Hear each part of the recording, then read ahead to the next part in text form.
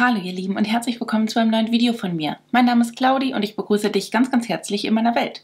Heute äh, testen wir ein bisschen Neuzugänge hier. Ihr findet fast alles bei Look Fantastic, wo ihr mit Claudi Welt auch drauf sparen könnt. Wenn ihr möchtet, könnt ihr mich über die Links in der Infobox supporten, die sind nämlich affiliated.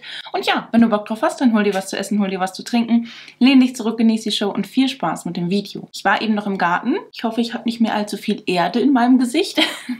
und ähm, ja, genau, ich starte auch mit einem Primer. Da habe ich Jenny, Jennys Highlights, das ist die Anfixer Queen schlechthin, ich sag's euch. Ähm, die hat immer wieder diesen High-Gen Primer empfohlen, Energizing and Hydrating Primer Serum von der lieben Natascha. Und ja, der war jetzt endlich auch mal verfügbar, sodass ich ihn mir jetzt auch mal bestellt habe. Serum würde ich vorher schütteln, oder? Okay, das sieht sehr perlig aus, das ist ja abgefahren. Oh mein Gott, das schimmert. Wie cool ist das denn? Ich stehe ja auf sowas, ne? Das ist ja voll mein Vibe. Oh. Mhm, mhm, mhm. Wir sind im Game. Könnte jetzt vielleicht im Sommer ein bisschen viel sein. Ist auch parfümiert. Also für ölige Haut ist das nächste, kann ich jetzt schon sagen. Das ist sehr ölig. Mal gucken, was der zu meiner Hautpflege und meinem Lichtschutzfaktor sagt. Nicht viel Gutes. Nee, da habe ich jetzt komplett Würstchen im Gesicht. Dann machen wir das mal mit einem Tuch grob weg. She's a professional. Ich habe es jetzt grob mit dem Handtuch so ne, runtergenommen. Lege jetzt mal noch mal eine Schicht nach. Wahrscheinlich war das halt wirklich durch die darunter befindliche Hautpflege, die aber echt schon Stunden eingezogen ist. Ne? Zu viel. Der bildet halt auch wirklich so eine Art Schicht auf dem Gesicht. Und das war ein Reim. Das ist manchmal problematisch. Am Hals mache ich jetzt hier noch so ein bisschen mit dem Tuch. Ich könnte jetzt natürlich auch hingehen, mein Gesicht waschen und das Ganze nochmal von vorne anfangen. Nö. Also in der Regel, wenn wir ein neues Produkt haben, packen wir das ja auch auf die Hautpflege mit drauf. Ja, ich habe im Garten geschwitzt. Ne? Dementsprechend kann das sein, dass das irgendwie deswegen werde ich nochmal ausprobieren. First Impression, es sieht wunderschön aus, möchte aber nicht mit Hautpflege, also mit meiner Hautpflege zusammenarbeiten. Das macht das Ganze etwas schwierig. Ähm, jetzt habe ich einen Color Corrector hier von Clinique. Ist es der Even Better All Over Primer and Color Corrector. Ich habe den in der Farbe Peach mir bestellt. So schaut die Umverpackung aus. Kann man sicherlich, wenn man so einen No-Make-up-Make-up-Look macht, auch als alleinigen Concealer verwenden. Ich möchte ihn jetzt aber wirklich nur unter den Augen ein ganz kleines bisschen verwenden zum Korrigieren. Das Füßchen ist so puffig abgeflacht. Ja, das ist auch eher wirklich für ne, Dark Circle Geschichten. Das arbeite ich mir jetzt erstmal mit so einem Pinselchen ein. Der radiert wirklich. Holla, holla, holla. Ja, sowas neutralisiert dann halt die Augenschatten, ne? Nein, würde ich nicht solo tragen. Nee, dafür ist es für mich persönlich einfach zu dunkel. Vielleicht, wenn man das ganz, ganz, ganz, ganz, ganz dezent aufträgt. Color Correction ist am Start, würde ich aber jetzt nicht als Concealer-Ersatz nehmen. Dann habe ich hier von By Terry die Brightening CC Foundation in der Farbnuance Fair Cool 1C. Da bin ich sehr gespannt drauf.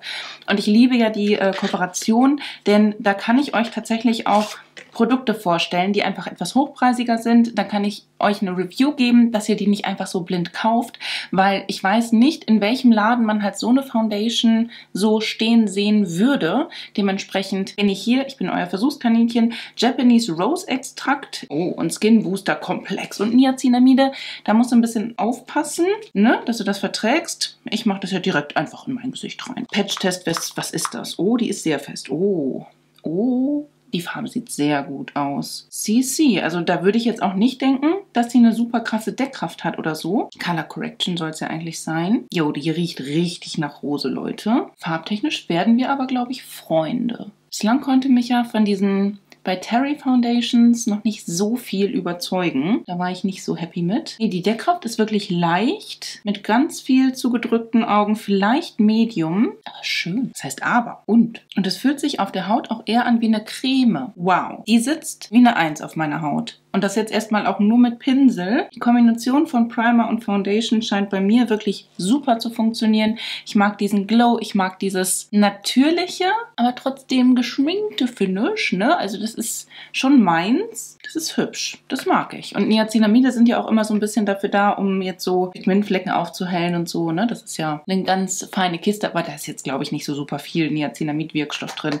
als dass man da irgendwie wirklich einen Hautpflegeeffekt hat. Glaube ich nicht, weiß ich nicht. Aber schön finde ich es auf jeden Fall. Das ist eine Empfehlung, wenn ihr das Geld ausgeben möchtet. Wenn es ein bisschen weniger sein soll, dann äh, L'Oreal, da gibt es hier diesen True Match Radiant Serum Concealer. Habe ich in der Farbe 1 eher Light Highlight Clear. Das ist ein ganz abgefahrenes Füßchen. Den habe ich euch auch schon mal solo gezeigt, in einem Short, in einem Reel. Ich kann euch das Short mal verlinken. Den mag ich. Also der hat auch wirklich gut über den Tag gehalten. Den trage ich mir jetzt äh, auch auf meine Rötung und so auf.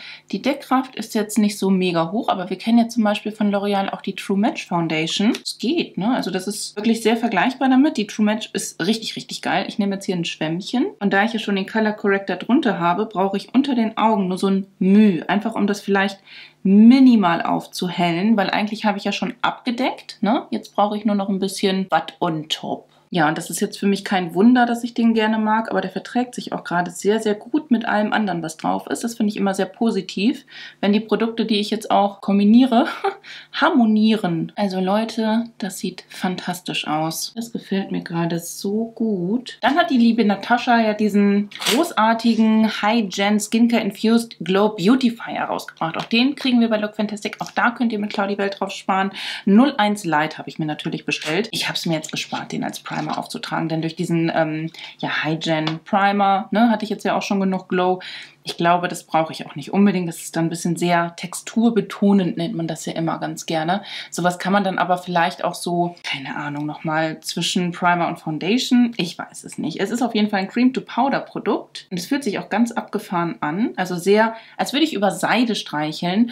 Und Leute, das ist wirklich, wenn ich den jetzt so hier mit dem Finger nehme, ne? Das ist schon ein kleiner Spiegel. Das ist schon heftig. Den kann ich hier ja mal swatchen. Und das sieht sehr schön aus. Oh mein Gott. Ei, ei, ei, ei, ei. Wenn du jetzt auch so auf dem Gesicht bist, vielleicht ein bisschen heller als beim Swatch, äh, bin ich happy. Ich gehe jetzt auch mal ganz mutig mit dem Foundation. Pinsel rein. Nee, ich nehme den Concealer-Pinsel. So, mit dem ich den Color Corrector eingearbeitet habe. Den mache ich jetzt so am Handtuch ein bisschen sauber. Und dann trage ich mir den auf. Wie schön. Ein Perlglanz.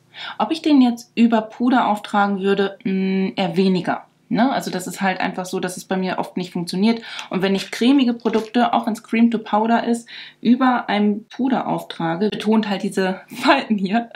Und das möchte ich nicht unbedingt. Und das ist ein sehr, sehr schöner Highlighter. Wow! Und dem traue ich auch zu, dass der auch wirklich gleich noch durch das Puder durchscheint, ne? Hoi. Der ist auch nicht zu dunkel, ne? Nee, das geht. Trägt auch keine Base oder so ab. Ja, ich habe heute relativ viel von der lieben Natascha hier, das stimmt. Fällt mir auch gerade auf. Feines Teil. Also ob man dafür 50 Tacken hinlegen will, sei jedem selbst überlassen. Wie gesagt, mit meinem Code könnt ihr ja noch darauf sparen, aber trotzdem. Ich bin auf jeden Fall happy, ihn in meiner Sammlung zu haben. Ich finde den sehr hübsch. Jetzt gerade im Sommer verwende ich immer so zwischendrin gerne mal ein Wasserspray, bevor ich jetzt auch die pudrigen Texturen auftrage. Weil es sehr warm ist. Was heißt Sommer, ne? Es ist jetzt Mitte Mai, aber, also wo ich drehe. Aber ich brauche einfach dieses frische Gefühl zwischendrin mal. Mhm, das tut gut. Nicht, dass die Foundation oder die Base oder sonst irgendwas sich irgendwie ne, austrocknend anfühlen würde. Das auf gar keinen Fall. Aber ich mag es ganz gerne. Ist ein absoluter Muss-nicht-Schritt. Es ist einfach, ich mag es ganz gerne. Von bei Terry habe ich ja auch noch dieses äh, Hydra Powder. Das habe ich jetzt aktuell einfach in Anwendung. Nehme ich gerne um meine Augen herum. An den Nasenflügeln und an dieser Marionettenfalte. Und fürs ganze Gesicht von Too Faced mein Primed and Poreless, was ich äh, aktuell in meinem Project Pen habe. Wie schön der Highlighter einfach immer noch scheint. So cool. Ich habe übrigens dieses Mal jetzt nicht explizit ein Produkt für euch ausgesucht, ähm, sondern ich möchte in diesem Video einfach ein Beauty-Paket verlosen. Also, ne, wenn du an der Verlosung teilnehmen möchtest, schau gerne in die Infobox, da habe ich die Teilnahmebedingungen reingesetzt. Denn ja, ihr sollt ja nicht nur durch mein Wissen profitieren, sondern ich gebe ja auch immer gerne so ein bisschen was an euch weiter. Und solltest du diesen Kanal noch nicht abonniert haben, mache das sehr, sehr gerne. Hier gibt es immer wieder so ein bisschen Beauty-Content und Unboxings, Hauls, Reviews, ein bisschen Entspanntes aus meinem Leben in meinen Vlogs, wenn ihr mögt. Und ja, genau, also da seid ihr herzlich eingeladen, auf das Abonnieren-Button-Ding zu klicken, denn ungefähr die Hälfte von euch haben das noch gar nicht getan. Ja, ich würde mich mega drüber freuen. Jetzt habe ich hier eine Palette, auf die war ich schon länger scharf. Die Hyper Natural Face, äh, Hyper, das hat ihr irgendwie überall, ne? Diese Natural Face Palette auf jeden Fall. Als ich die das erste Mal gesehen habe, habe ich mir gedacht, hm, dann dann habe ich sie mir aber mal genauer angeguckt und mir gedacht, okay, die ergibt Sinn. Du hast im Prinzip hier nämlich fünf schimmernde Töne drin und dann hast du diesen dreigeteilten Bronzer und diesen zweigeteilten Blush. Beide sind ähm, matt, sodass du halt diese Palette auch in Kombination mit den Tönen so verwenden könntest. Ne? Finde ich ziemlich cool gemacht. Das Einzige, was ich halt einfach schwierig finde, ist, du kommst halt mit so einem Pinsel sehr schwer in diese Fännchen rein, um dir sehr präzise Bronzer und Blush aufzutragen. Das wird ein bisschen abgefahren. Ich versuche es jetzt einfach mal sehr wild und gehe komplett in dieses Fännchen rein. Ich wubbel mal so richtig ich guck mal, ob die Farbe vielleicht was sein könnte. Ist halt sehr zurückhaltend, ne? was ich jetzt nicht schlimm finde. Da kann man das ein bisschen besser aufbauen und dosieren vor allem. Ich halte mich aber ein bisschen mehr auf dieser helleren Seite auf, weil mein Hautton ist ja nach wie vor eher durchsichtig als sonst irgendwas. Und das hier ist auch ein super fluffiger Pinsel von Real Techniques. Das war, glaube ich, der erste, den ich mir überhaupt mal gekauft habe. Den habe ich mir mittlerweile schon nachgekauft, der 400er. Ähm, damals stand hier unten auch noch drauf, nee, hier steht es auch noch, Blush Brush, ne? Ach ja, Nostalgie. Melly würde sagen, der Bronzer ist jetzt kein Schlüpperstürmer, aber er ist okay. Also mich stört schon, dass ich da nicht drin wubbeln kann. Ich mag es gerne, wenn ich rühre. So, ne? Das ist, das ist schon meins. Hier muss ich jetzt wirklich aufpassen, dass ich nicht zu dunkel reingehe. Aber das ist halt jetzt, ne, du hast eine Palette mit fünf Lidschatten und Blush und Bronzer hier mit drin. Das ist eigentlich ganz gut gelöst. Sonst haben sich ja auch immer wieder welche beschwert. Ich mich auch. Dass in den anderen Paletten, wo du halt sowohl die Base als auch die äh, Eye-Produkte mit drin hattest, nicht jede Hautfarbe halt was finden kann. Hier auch nicht, aber es ist immerhin so eine Art Kompromisspalette. Dann gehe ich hier in den Blush rein und da gehe ich auch in die Mitte einfach mal rein, um zu gucken, wie der so ist. Schön.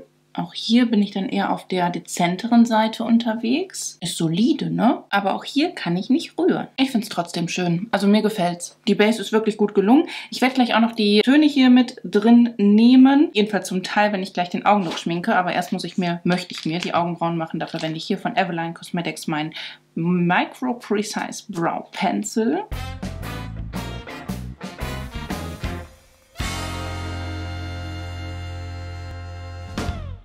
Bist du so und du bist so.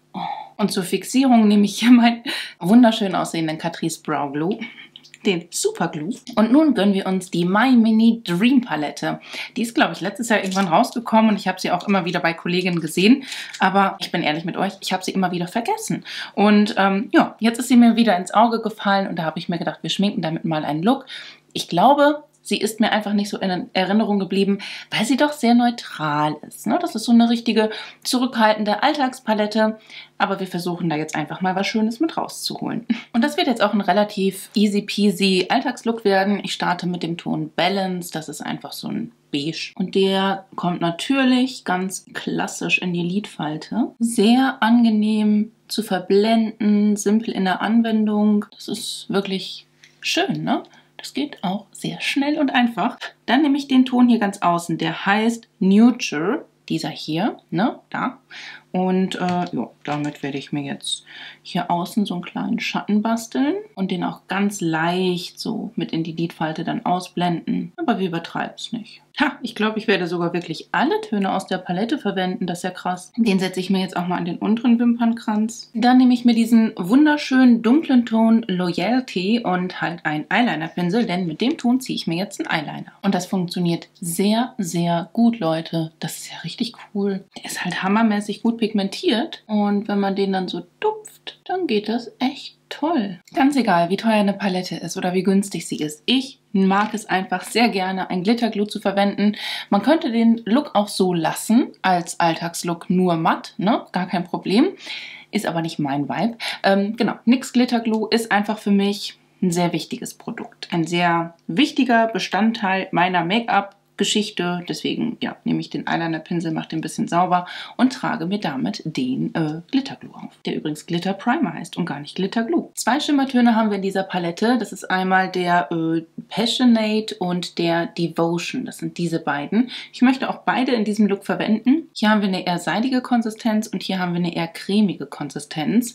Und die beiden kommen jetzt auch auf mein Auge aber nicht in meinen Inner Corner, weil dafür wäre der mir tatsächlich ein bisschen zu graustichig. Das heißt, ich setze mir diesen den helleren komplett auf mein bewegliches Lid und lasse nur ein bisschen außen und innen frei. Aber ich finde, der sieht echt schön und auch hochwertig aus. Und nach außen hin tupfe ich mir dann den dunkleren auf und verstärke damit den Schatten, den ich mir draußen ja auch gebastelt habe. Und ich finde, das sieht sehr, sehr, sehr schön aus. Es sieht edel aus, es sieht hochwertig aus. Da lohnt sich so eine Palette definitiv, weil du hast hier fünf Töne drin, die kannst du auch echt gut verwenden. Du hast ja nicht die ultimativen Kombinationsmöglichkeiten, aber das sieht doch gut aus. Absolute Empfehlung von meiner Seite aus. Ich finde, das sieht echt nice aus. Genau, Innenwinkel, da möchte ich aber gerne hier den Ton Dreamy verwenden aus dieser Hyper Natural Face Palette. Der ist auch so richtig schimmer die Pimmer. Da geht die Party richtig ab. Uiuiuiuiui. Aber tatsächlich ein Tickchen zu dunkel für mich, aber das ist mir so. Fühlt sich auch super seidig an, mega angenehm. Und den tupfe ich hier im Innenwinkel auf dem Auge auch noch oder in mein inneres Drittel auch noch ein bisschen mit drauf und habe damit ein mega krass cooles Highlight nochmal in meinem Innenwinkel. Das ist hübsch. Ihn als Highlighter zu verwenden würde ich jetzt nicht unbedingt empfehlen. Dafür hat er halt zu groben Schimmer mit drin und ist wahrscheinlich auch einfach zu stark pigmentiert, ne? Es sei denn, du hast da Bock drauf, dann gönn dir hart, ne? Gar kein Problem. Aber das ist eine sehr schöne Kombi, das gefällt mir richtig, richtig gut. Wie gesagt, der Dreamy hätte noch ein ganz kleines bisschen heller sein können für meinen Geschmack einfach, aber gefällt mir trotzdem. Sehr coole Paletten, da bin ich echt froh, die beiden jetzt neu in meiner Sammlung begrüßen zu dürfen. Guten Tag.